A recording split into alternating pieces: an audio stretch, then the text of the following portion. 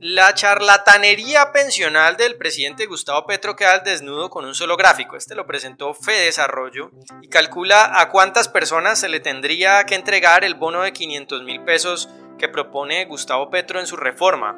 Hoy serían unas 3 millones y medio, pero como Colombia se está envejeciendo, dentro de 20 años, alrededor de 2040, serían 10 millones de personas las que tendrían que recibir ese bono. Estamos hablando de ya casi el 20% de la población que recibiría un bono, con lo cual sería absolutamente impagable. Estaríamos hablando en plata de hoy de unos 60 billones de pesos, más o menos lo que gastamos en todo el sistema de salud, pagaríamos en un solo programa de subsidio. Por supuesto, no es viable ni desde el punto de vista financiero ni fiscal.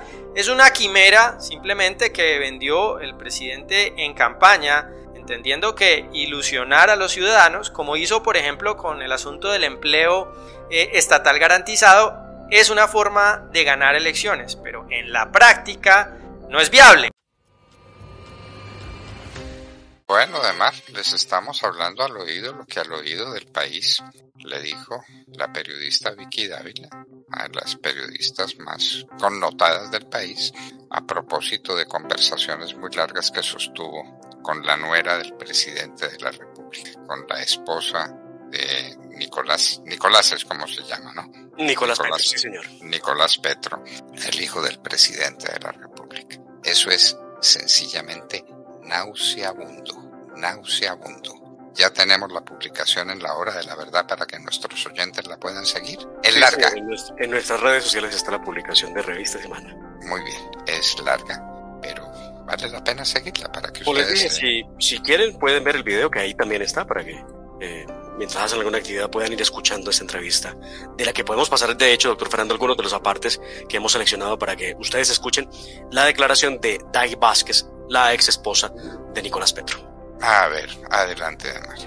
Empecemos entonces a escuchar una de las primeras partes de eh, Dai Vázquez, donde hablaba de eh, precisamente cómo Nicolás Petro ha recibido dinero eh, que nunca reportó a la campaña y que nunca recibió aparentemente eh, la estructura de campaña de Petro. Escuchemos. Y él no tiene esa ¿A qué ministros buscaba él? A todos, él se reunió con todos los ministros. Pero ¿se acuerda de cosas puntuales? ¿Quiénes, para no fallar, gente que usted se acuerde puntualmente que lo recibió? Que iban al apartamento. Ah, bueno, que iban al apartamento de ustedes aquí en Bogotá. Vizcano.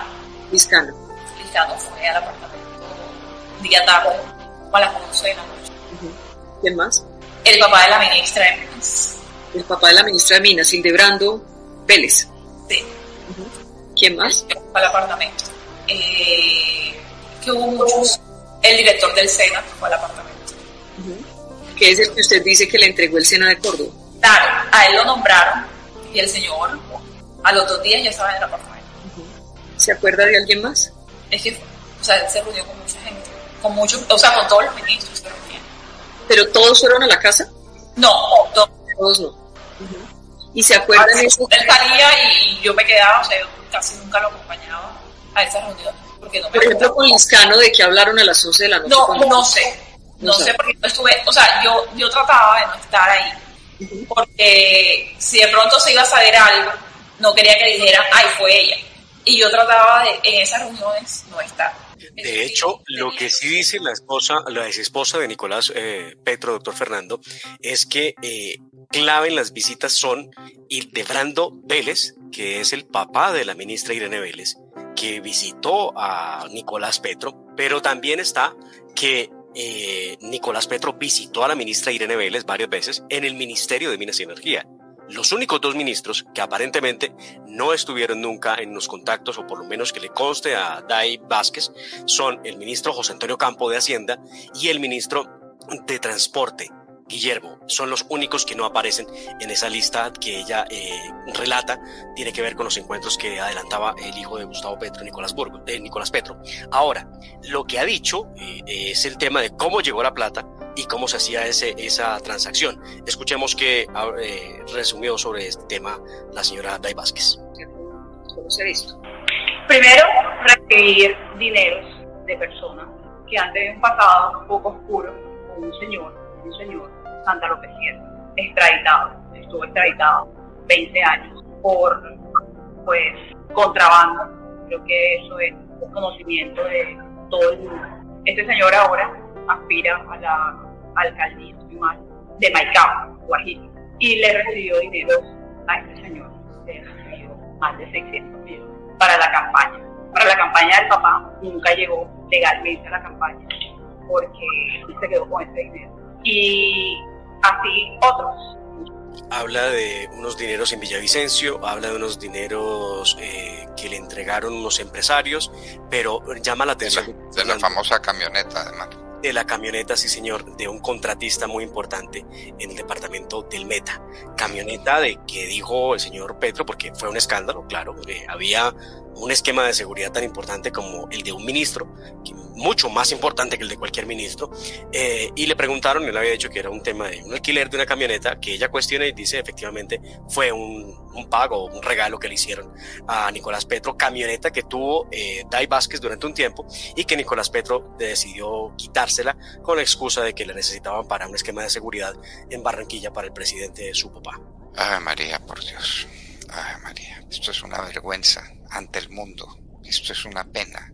Alguien dirá, no, es que se están solazando, están felices porque estalló este escándalo. No, no, no, nos da vergüenza, dolor de patria. Esto no puede suceder. Colombia no ha podido caer tan bajo como la esposa de Nicolás Petro lo cuenta.